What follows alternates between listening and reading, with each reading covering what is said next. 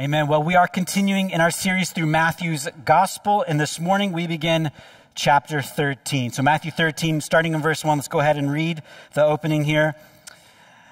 Matthew says, That same day, Jesus went out of the house and sat beside the sea, and great crowds gathered about him, so that he got into a boat and he sat down.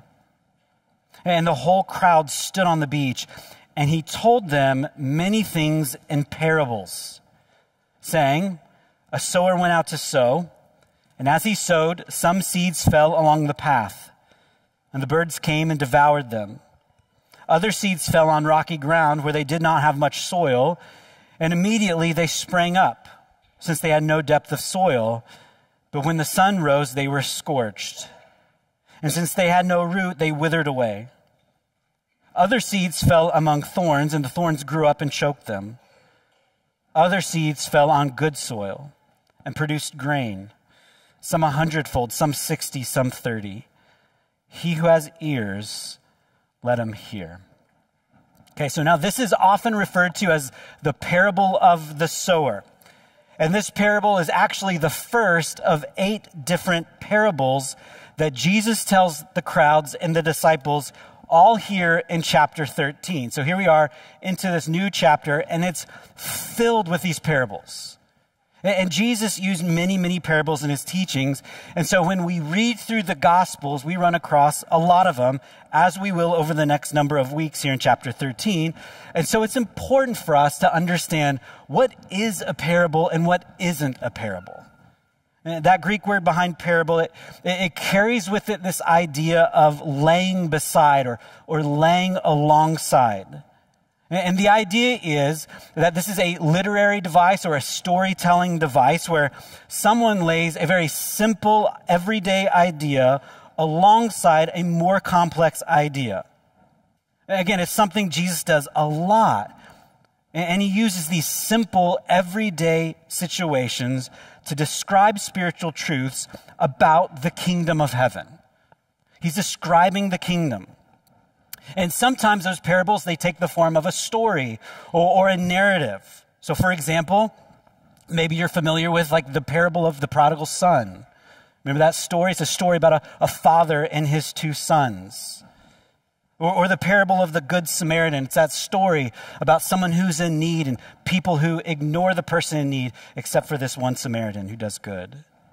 Or the parable of the sower, like we just read right there at the beginning of chapter 13. Again, these are stories. But sometimes parables are a lot simpler. They're, they're not full blown stories. Sometimes they contain what are, what are called similes, where, where they compare, again, simple and complex things to illustrate that more complex thing. We're going to see a lot of this in chapter 13, where, where Jesus will, on multiple occasions, say, The kingdom of heaven is like, and then he goes on.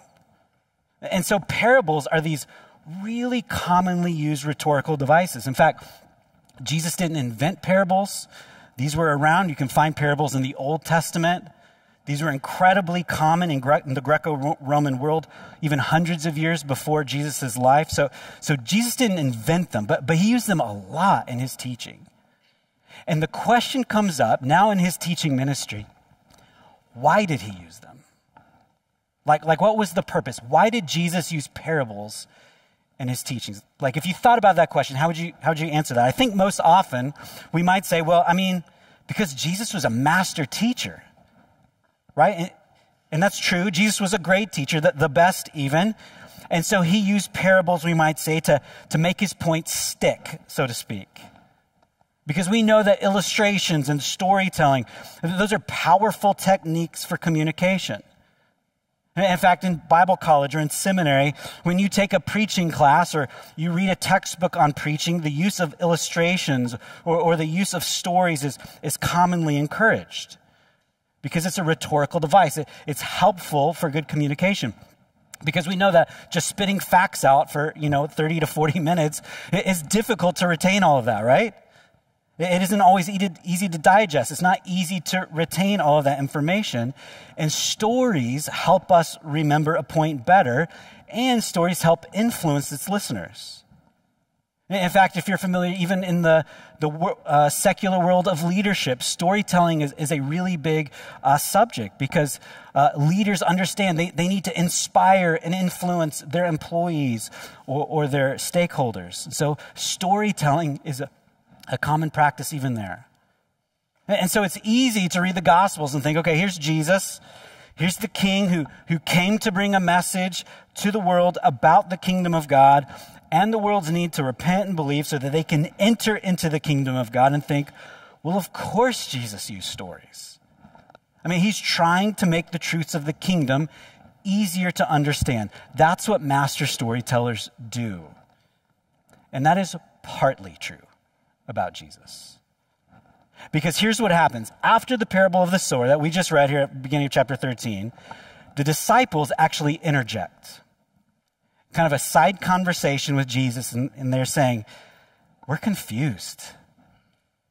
Like, like, why are you using parables? To them, it doesn't make sense.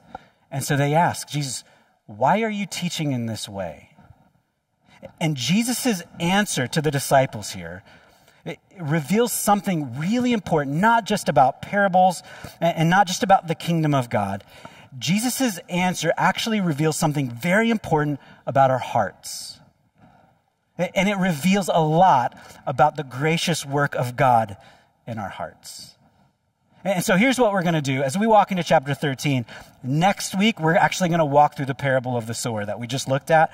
But this morning, what I want us to do is look at this next section, this section that's stuck right in the middle of the parable of the sower, starting in verse 10, when the disciples say, Jesus, I, I don't get it. Why, why are you teaching this way? And Jesus answers them. It's important for us to understand these the purpose of parables. And so we're going to do that this morning. It kind of lays the foundation for the next several weeks as we read parable after parable after parable after parable in chapter 13. Okay, so let's go ahead and pick it back up in verse 10. Jesus says, just given the parable of the sower, Matthew records, Then the disciples came and said to him, Why do you speak to them in parables? And he answered them, To you it has been given to know the secrets of the kingdom of heaven, but to them it has not been given. For to the one who has, more will be given, and he will have an abundance. But from the one who has not, even what he has will be taken away. This is why I speak to them in parables, because seeing they do not see, and hearing they do not hear nor do they understand. Indeed, in their case, the prophecy of Isaiah is fulfilled that says, You will indeed hear, but never understand, and you will indeed see, but never perceive. For this people's heart has grown dull, and with their ears they can barely hear, and their eyes they have closed, lest they should see with their eyes and hear with their ears and understand with their heart and turn, and I would heal them. But blessed are your eyes, for they see and your ears, for they hear. For truly I say to you, many prophets and righteous people long to see what you see, and did not see it, and to hear what you hear, and did not hear it. So again, here's the context Jesus has drawn a crowd. They've gathered around, they want to hear, they're intrigued. And he gives them a parable. And again, the disciples seemingly say, Jesus, what are you doing? This doesn't make sense to us. Why are you teaching this way? In other words, why aren't you being more plain here? And Jesus' answer is perhaps surprising because Jesus says, here's why. Here's why I teach in a parable. The point of parables is both to reveal the truths of the kingdom of God and to conceal the truths of the kingdom of God. They have a dual purpose here. And in so doing, those parables really serve to reveal the condition of our hearts. That they help reveal whether or not we're a true disciple of the kingdom. That's what he says to his disciples. So there's, again, a lot to unpack in this section. But, but the bulk of Jesus' teaching in this, in this passage here has to do with those listeners who are not disciples of Jesus. And Jesus says, those who are not his disciples, he's explaining to the disciples there, those who are not disciples of mine, they have a, a sensory malfunction, spiritually speaking. In other words, they have ears, but they can't hear. They have eyes, but, but they don't see. And, and Jesus says the part of the purpose of these parables is not to make it clearer, but actually to conceal the truth further in judgment. That's a lot, a lot to take in. Uh, but, but here's Jesus, and, and what he does to kind of support this, and this is really important, is he quotes from the Old Testament, from the prophet Isaiah. Now, when you're reading the New Testament, and there's a quote from the Old Testament, I know it's a little bit of work, but it's really important to understand the context of that verse, because it's really important to the context of the New Testament that uses that. And so we need to grasp what's happening here. He only quotes Isaiah chapter 6, verses 9 and 10, but I want to see all of chapter 6 just to grasp the weight of this quote. Isaiah 6, if you're not familiar with this scene, Isaiah, the, prop, the prophet of God, he describes this incredible life changing encounter he has with the Lord. Okay, so here's how he describes it. This is chapter 6, verse 1. Isaiah says, In the year that King Uzziah died, I, Isaiah, saw the Lord sitting upon a throne, high and lifted up, and the train of his robe filled the temple. And above him stood the seraphim, these angels. Each had six wings. With two he covered his face, with two he covered his feet, and with two he flew. And one called to another and said, Holy, holy, holy is the Lord of hosts. The whole earth is full of his glory. And the foundations of the threshold shook at the voice of him who called, and the house was filled with smoke. So Isaiah says, I, I had this incredible vision uh, of the throne of God where he sees the all holy, almighty God surrounded by angels singing his praise. Now, obviously, we can't even begin to imagine the weight of that vision, but, but needless to say, it has an impact on Isaiah. In fact, go, going on, he says in verse 5, And I said, Woe is me, for I'm lost. I'm a man of unclean lips, and I dwell in the midst of a people of unclean lips. For my eyes have seen the King, the Lord of hosts. Then one of the seraphim flew to me, having in his hand a burning coal that he had taken with tongs from the altar. And he touched my mouth and said, Behold, this has touched your lips, your guilt is taken away, and your sin atoned for. So again, Isaiah sees God in his glory, and he instantly recognizes how unworthy he is to be there. And in this act of repentance, he just acknowledges his uncleanness, and his sin and guilt are removed in this dramatic fashion by the seraphim. Again, life changing for the prophet. But this encounter that Isaiah has with the Lord has, uh, leads him to, to more than just kind of a change in his own personal life.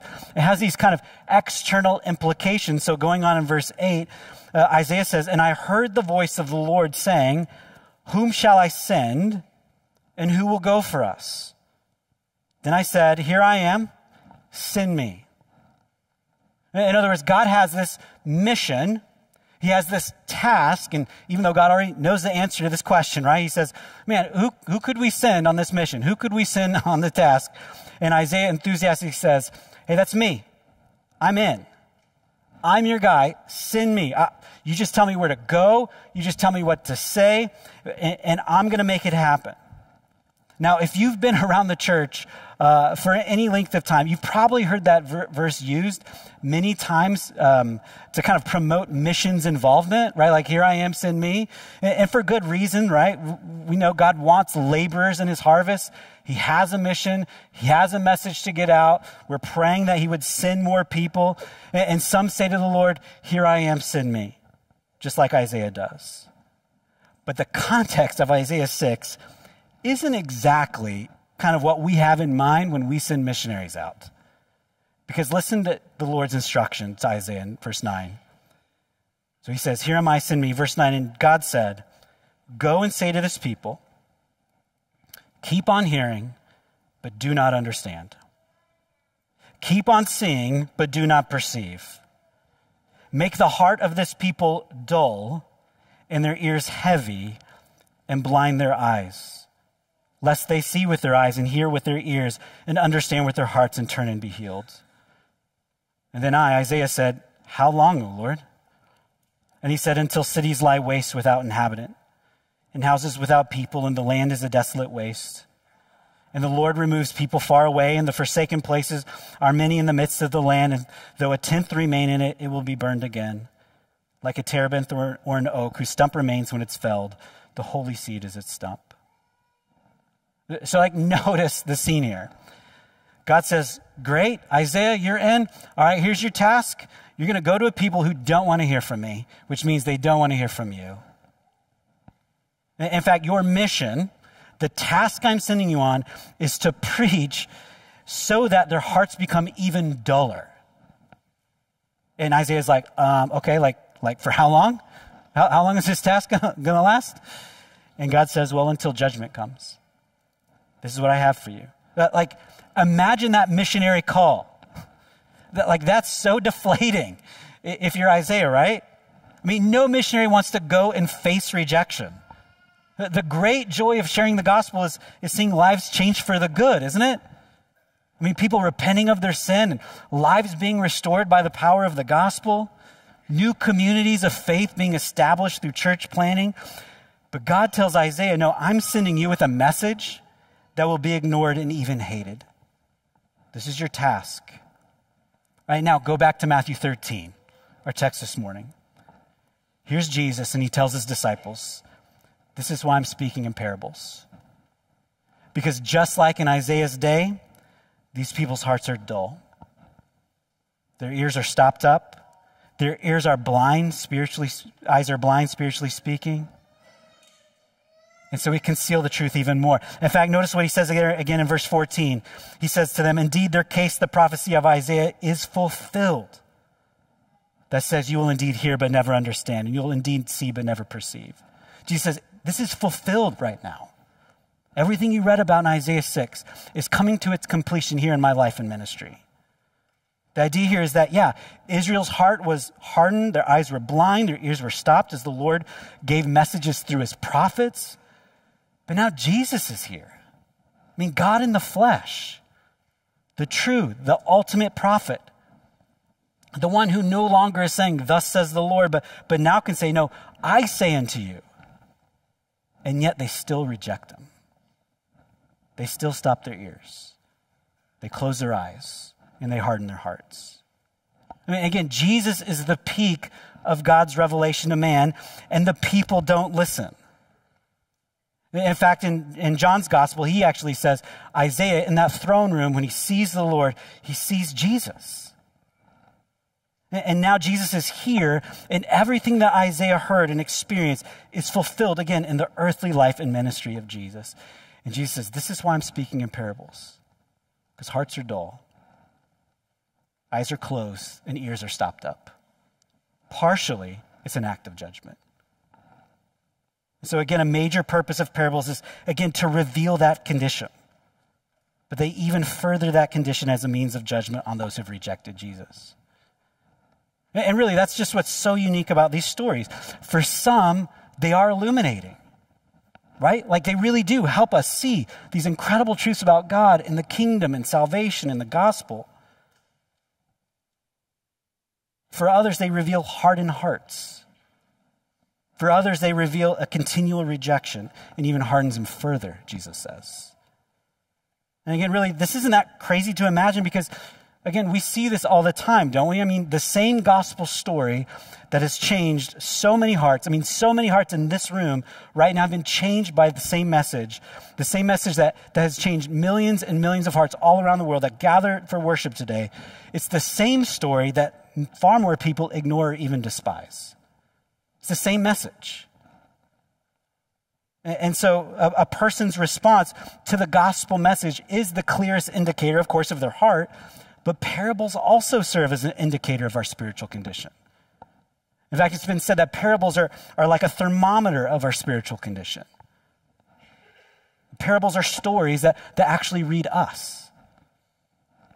And, so as we walk through these, this chapter, we're, again, just reminded of this relationship between our heads and our hearts. And this is really important for us because I think it's, it's very tempting to, to just think, you know, all a person needs to repent and believe is to know the gospel better, or to know the Bible better, or to know theological truths better. Like, if only they knew more, then they would obviously become a Christian. And to be sure, we want people to grow in all in their knowledge of all of those things, right? Uh, after all, Paul says, How can someone believe in Jesus if they haven't heard of him?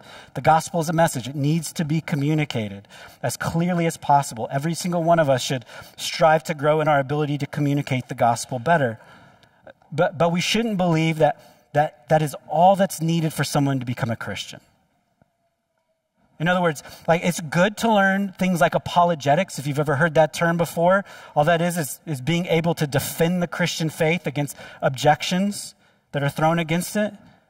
But like you understand, having a perfect answer to every objection doesn't necessarily guarantee that someone will change from a rejecter of Jesus to a follower of Jesus. And that's because it's possible to know everything that there is to know about the Bible and Jesus and the gospel and yet not have repentant saving faith. Right? Like you understand, like there are biblical scholars. They read the Bible in the original languages and they know all kinds of things about Jesus and what he's teaching in the gospels, and yet they don't believe. They don't love Christ. And the reason is because ultimately, the final obstacle to our faith is not just in our heads, but in our hearts. Our obstacles are not just intellectual, but volitional. And that's what parables help us see. That for many, parables conceal truths more than they reveal them. They've already rejected Jesus, and Jesus doesn't entertain them with these precious truths of the kingdom. Instead, he reserves them for his people. So again, parables conceal so many truths uh, for many, but not everyone. Not everyone. In fact, to the disciples, Jesus looks at them and says, No, to you, the truths of the kingdom of heaven have been given. And so you are blessed. You're blessed because you hear, because you see, because you understand. And so, again, this section reminds us both uh, of the need for divine revelation and the gracious illuminating work of God that He's provided through His Spirit. And again, the Bible teaches that before we come to faith in Christ, beforehand, we are spiritually dead in our sins. And this is what Paul describes in Ephesians chapter 2, verse 1. He says, And you were dead in the trespasses and sins in which you once walked, following the course of this world, following the prince of the power of the air, the spirit that's now at work in the sons of disobedience among whom we all once lived in the passions of our flesh, carrying out the desires of the body and the mind, and were by nature children of wrath like the rest of mankind. Again, writing to these believers in Ephesus, he says, This is who we were before our faith.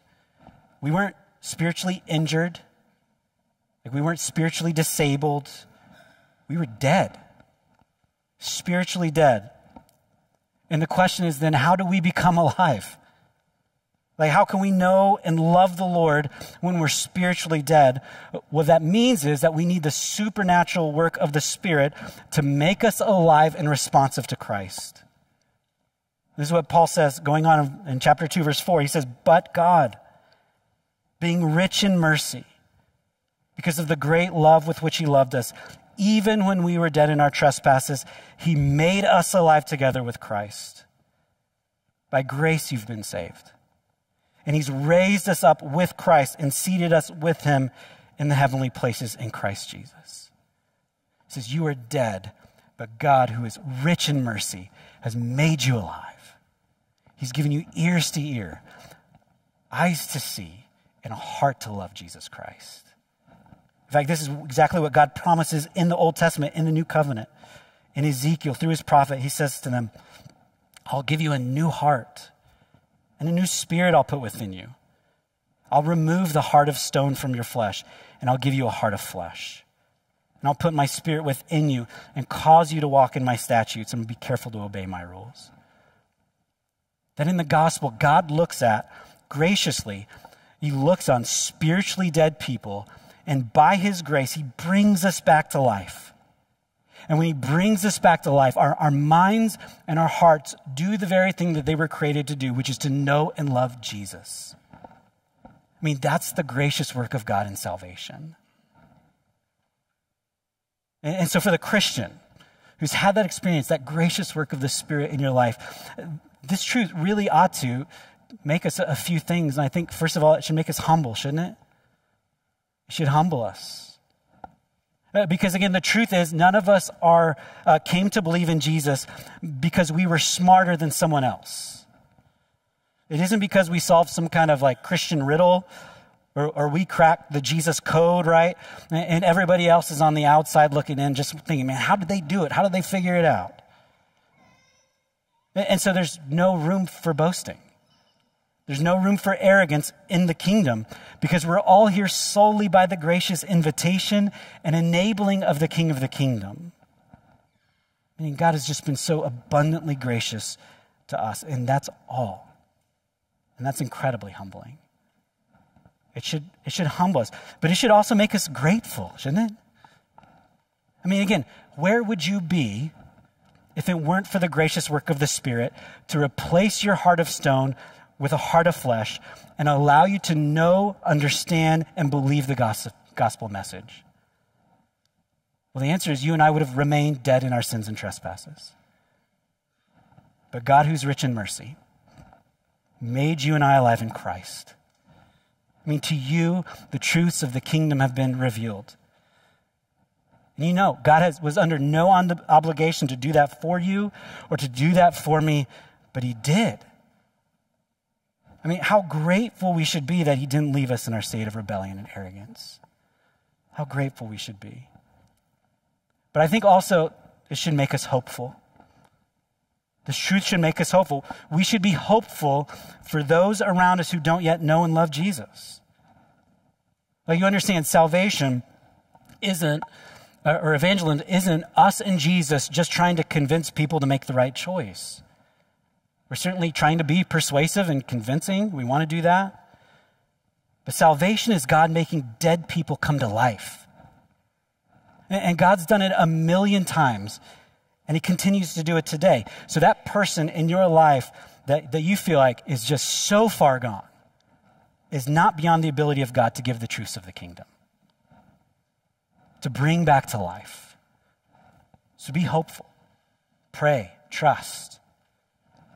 And it should make us humble or hopeful in our evangelism, right? Like, it should take some weight off uh, of our shoulders as to what's our responsibility and to what isn't our responsibility.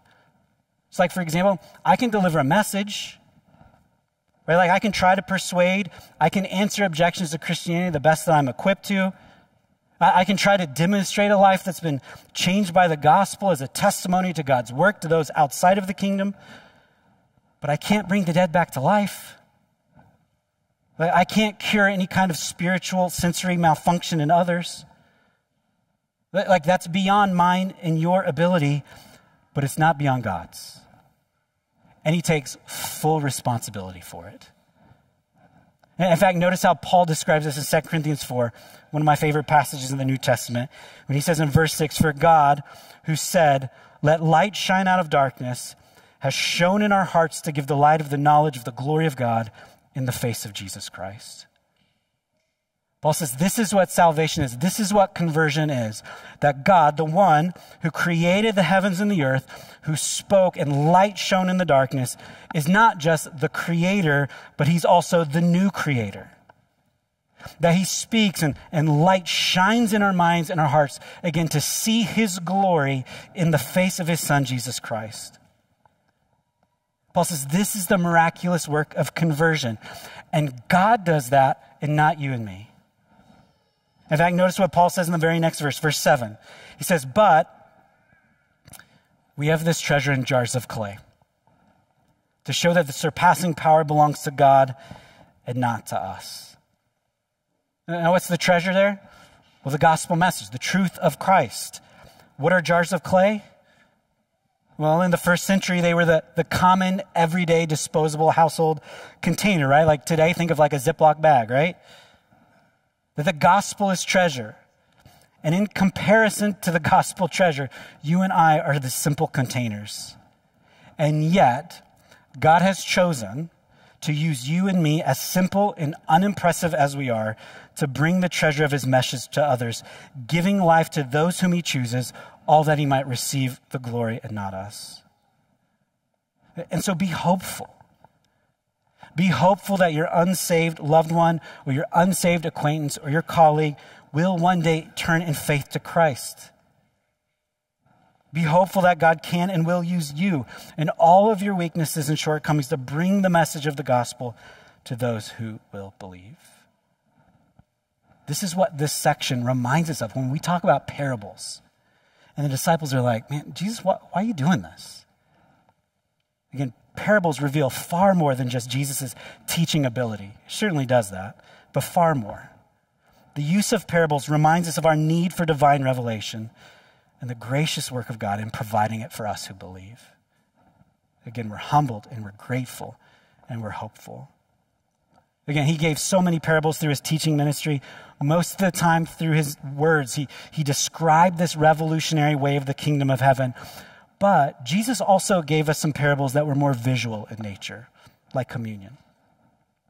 In fact, communion or the Lord's Supper has actually been called an acted parable. Uh, because when Jesus established it uh, with his disciples on the night of his arrest, he, he did more than just explain what his death would mean through his words. Right? He took bread and he took wine. And, and like so many parables before that night, Jesus lays the common everyday items alongside these incredible spiritual truths. So Jesus holds up the bread. He says, This is my body. Take and eat it. And he holds up a cup filled with wine. He says, This is my blood. Take and drink it. And through this acted parable, Jesus doesn't perform some kind of um, a miracle where he changes the elements into his body and blood, but, but he uses them to teach his disciples of his sacrificial death on their behalf. And he calls the church from then on to partake time and time again, that we can be reminded, that we can experience this parable over and over again, reminded of his sacrifice until he returns. That even though we were dead in our sin and our trespasses, Jesus lived the life perfect life we never could. And he went to the cross to take our, pen, uh, our, our sin penalty, our sin debt, and he rose to new life and will one day come again. And those who trust in Christ, who've turned from their sin, who've turned from their self righteousness, and put their faith in Christ and Christ alone, are united to him forever. And so we celebrate that as a church this morning. And, and so we do that with joy. And, and if you're a Christian this morning, you, again, you've done that, you've put your faith in Christ, you are welcome to partake this morning, partake in this acted parable. But if you're not a Christian, we're, we're so glad you're here. We're glad you're here. But we would encourage you not to partake this morning because when we do this, we're, we're identifying with Christ. We're acting in this parable when we eat the bread and drink the juice together.